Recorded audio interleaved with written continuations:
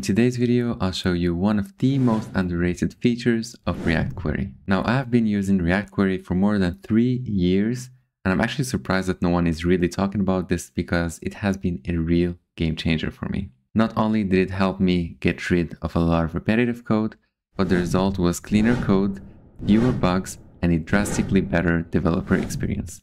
Let's check this out. So in order to explain this React Query feature, I have actually set up a really simple example that shows exactly how it works. So what we have here is a very simple application. It's just a contact list and the user can come over here and delete a contact. So when you delete a contact, you have a loading state and a notification. And of course, as you have noticed, when you delete a contact, it disappears from the list. This is a very simple user interaction, but let's take a look at the code for a moment. So the code is actually very simple. We just have a query to get the users per page. And then we have a mutation to delete the user. So this is how the delete contact mutation currently looks like. As you can see, it's pretty complex. But all that's happening here is that we're calling this use mutation hook from React query. We're passing in our delete function, which comes from the client. And then when the mutation is successful, we're showing a success notification when there's an error, we're showing an error notification. And when the mutation has settled, which means either error or success, we invalidate the query client cache.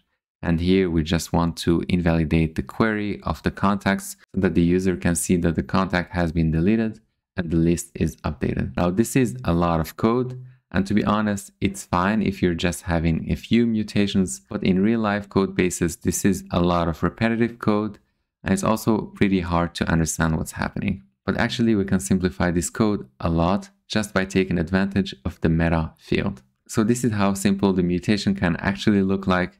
So here we can simply define which queries get invalidated by this mutation, the success message to show the user when it has succeeded, and the error message to show if the query fails. So defining the fields here is the first step, but that's not all because if you just add these fields here, nothing is gonna happen. Next thing you need to do is actually handle this globally. And the way to do that is for a start to define how a mutation meta object looks like. In this case, I have defined these three fields and I have also made them optional. So I always have the flexibility if I don't want to show an error toast after a mutation, I can just omit, for example, the error message. And then we need to globally handle these fields. And the way to do that is to come to where you're defining your query client and just add this code. So we are defining the default on success behavior. And here we can just check the meta.success message. And if it's defined, then we're going to show a notification for that. Same thing goes for error handling. And of course, on settled, we invalidate the queries. And just like that, we have the same behavior as before, but with a drastically better code. So this was actually a sneak peek into a bigger project that I'm working on and it's showcasing all the React patterns that I've been using. I'm really excited to show you that very soon. If you have been using React Query recently, I would definitely recommend checking out my previous videos. I put a lot of effort into making them, but I'm sure you're gonna get a lot of value out of watching them. Thanks for watching and see you in the next video.